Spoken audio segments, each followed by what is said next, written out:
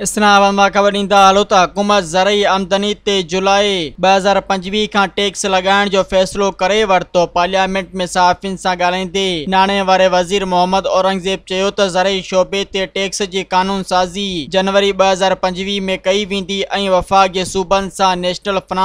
ते थी रही आहे मज़ीद